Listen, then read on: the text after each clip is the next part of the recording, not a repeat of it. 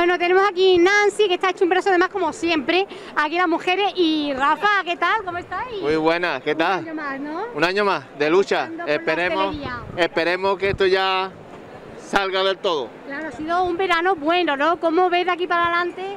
¿Cómo Yo se espero que presenta sí. esta hostelería? Yo espero que sí, que sea este año un año bueno y que nos veamos todos ya en condiciones, sin mascarilla y dándonos besitos, que a nosotros los andaluces nos gusta dar muchos besitos.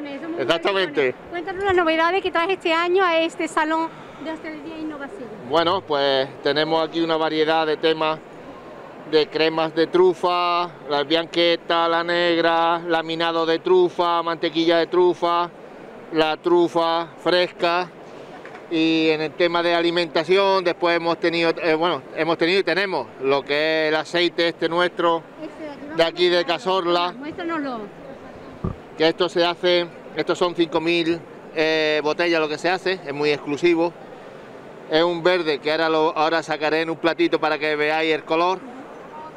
Y ya te digo, muy limitado. Son do- 5.000 botellitas, 2.500 litros que saca aquí mi amigo Cele con elogio y después algunas bodegas nuevas que hemos cogido de Alvariño y una bodega eh, de la dehesa del Carrizal, que es una de las 19 pagos que hay en España, tenemos uno también, y después tenemos también a mi amigo Vicente con, con Hispano Suiza, tenemos también a Bodega Gordon Sello de León, tenemos Ribera del Duero con Pina Fidelis, tenemos también unos vinos también de la zona volcánica también de España, en fin, mm, un poquito de todo, que tengamos variedad para toda la gente.